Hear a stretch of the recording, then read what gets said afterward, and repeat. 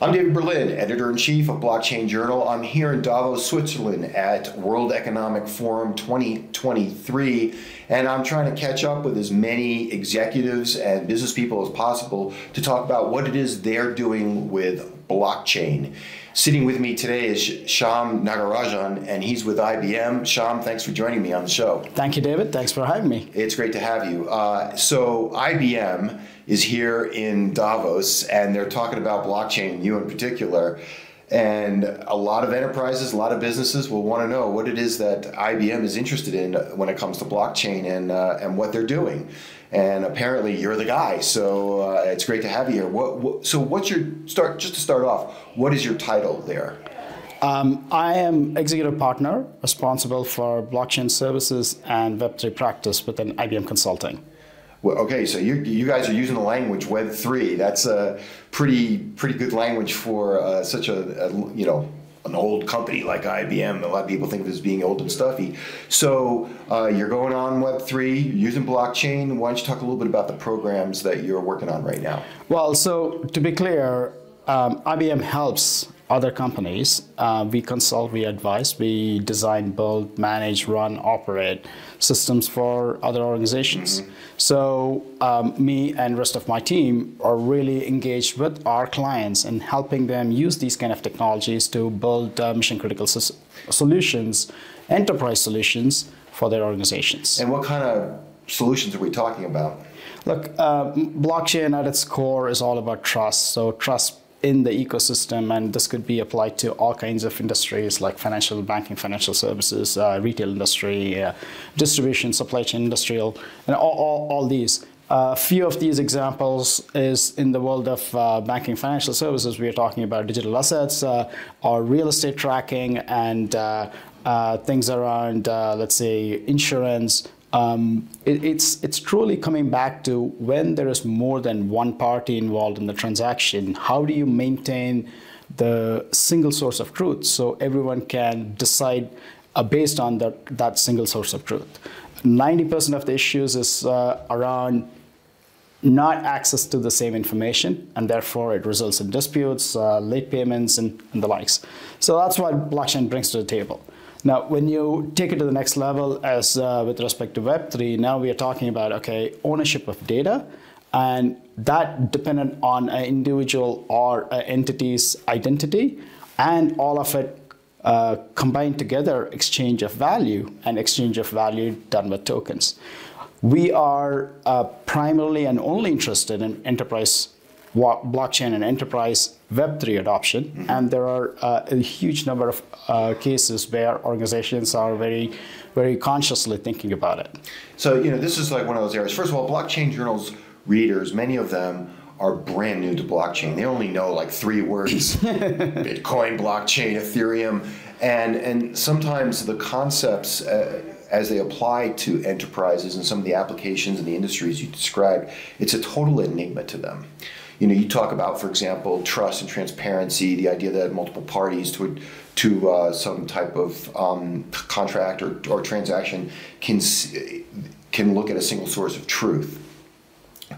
But a lot of our audience members will will wonder, well, why can't I just do that with a database? We've been doing that all along. So, what is it about blockchain that is a game changer for your clients uh, that makes them want to consider blockchain versus some older technology that has been serving in this role, the same role, for a long time? Look, um, blockchain, or rather, database technology has been around for a long time. Ledgers, you know, think goes all the way to 1600s and the likes, mm-hmm. right? And everyone has got accounting ledgers, and that's your today's database, how everyone manages their business. The issue is, it's okay if it's only within your organization. But businesses are not siloed. They deal with other businesses all the time, their partners, their mm-hmm. suppliers, their customers. And the issue is when you're dealing with multi-party, it gets complex because my view of my ledger is not the same as my partner's view of the ledger. And how do you get them on the same view so we don't have issues when talking to each other? So, so is it a situation where maybe two or three or more parties all have their own ledgers and none of them reconcile that easily with one another?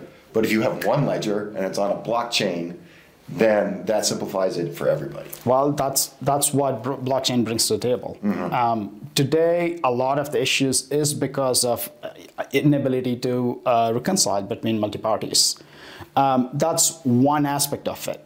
Now, when you elevate it to things like where you bring in smart contracts, well, smart contracts allows you to automatically settle between multiple parties.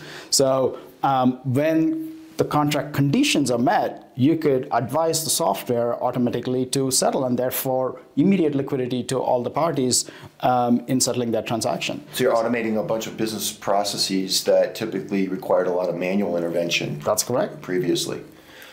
Who are the companies? Uh, maybe you can't speak directly about who the customers are, but what's a really good example of a company that you're, an enterprise that you're doing business with, that you're building and running their their solution for it? Well, I'll tell you, this is uh, one of the premier retailers, um, hardware retailers in North America, and uh, they have hardware like hammers and screwdrivers. Yeah. Okay. Yeah. So think of the number of partners that they have to deal with, and they have multiple stores, and their big issue is how do I make sure I uh, and my partner reconcile between each other. What's what did I place order for, what was delivered, what is the gap, mm-hmm. and what status was delivered, and what are the payment terms, how do I settle, all aspects of it.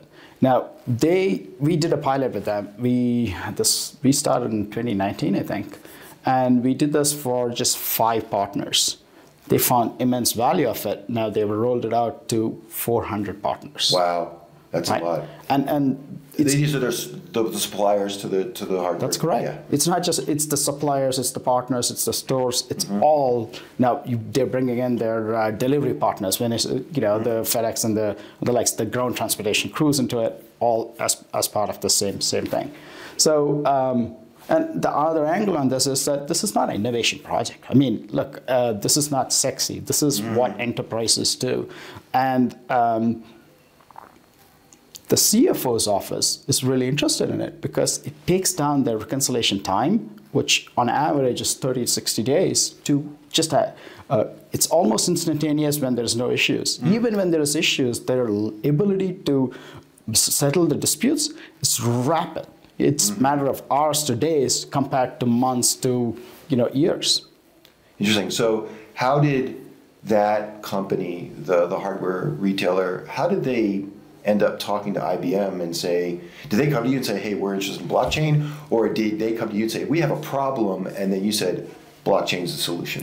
Well, um, it's the problem. Mm-hmm. Um, people try to go and say, hey, listen, I got fancy new mm. blockchain, and uh, you want to build something with it, and that never works. Right. We, we, we, have uh, uh, been in this business for almost six years now uh, since 2016. Wow, that's a long time. Wow. And uh, we know it's it's always business outcomes first, right? So when you have a problem, then you look at how you apply the right kind of technologies to it. And blockchain is just one part of the technology right? And, and it has to work with your data warehousing, information, data lakes, and your when you apply AI and uh, analytics to it, so you can predict what what kind of uh, um, orders can you place in future, all those kind of things. So blockchain is just one part of the technology. What we are finding more and more is that uh, organizations, first of all, they have these issues. They don't know how to solve them, and they've continued to apply traditional technologies to solve them, and it hasn't worked.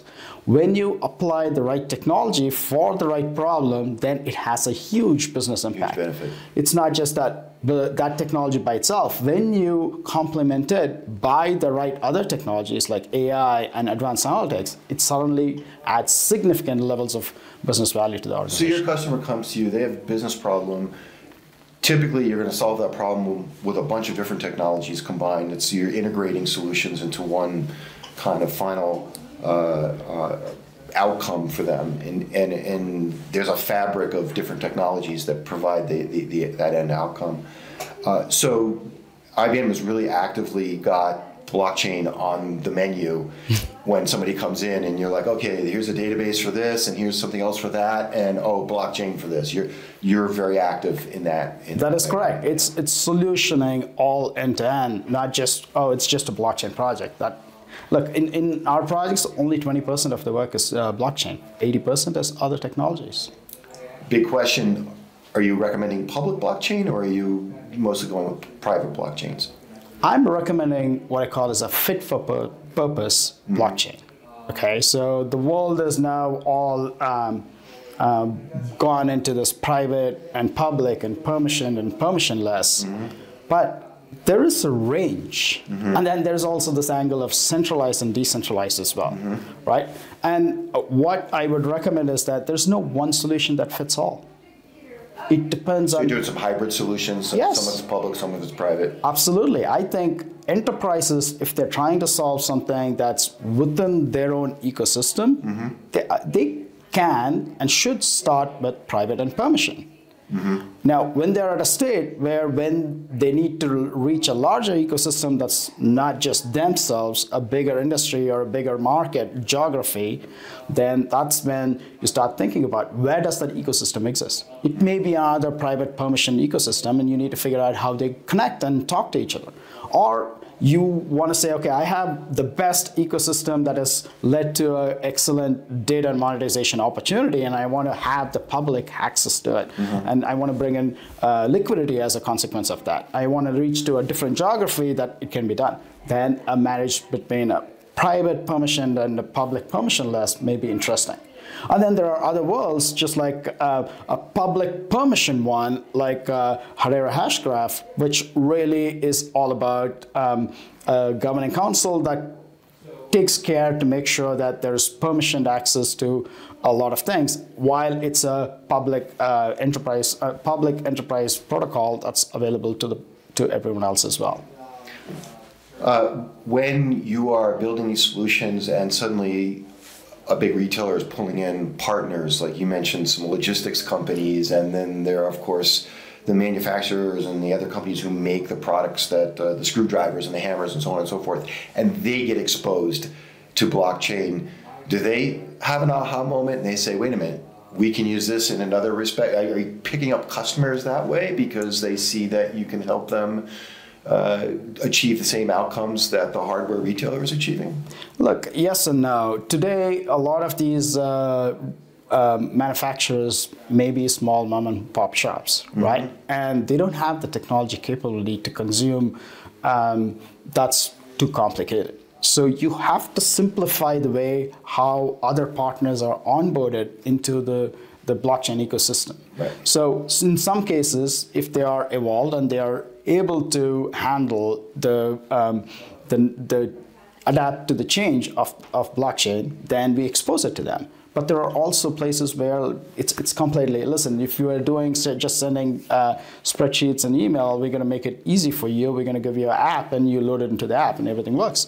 So um, it's, blockchain is a, just another technology and other parties can actively participate to the level of their maturity as well. So it's, it's important to uh, remember that as you're uh, building a network, because uh, what we have found in the last uh, six years is that th- we started out with this conscious, oh, everyone needs to be aware of what blockchain is, everyone needs to know what's happening inside it. And we realized a lot of times that's not really leading to the outcome that they want. They just want to participate in it and be contributing data or consuming data or having access to the ledger. Those things don't need complicated uh, knowledge in order to engage. Okay. Well, uh, Shyam Nagarajan, IBM, I hope you have a great World Economic Forum here in Davos. I hope you have a great rest of the rest of the show. Thank you very much for joining us. Well, thank you, David. Thanks for having me.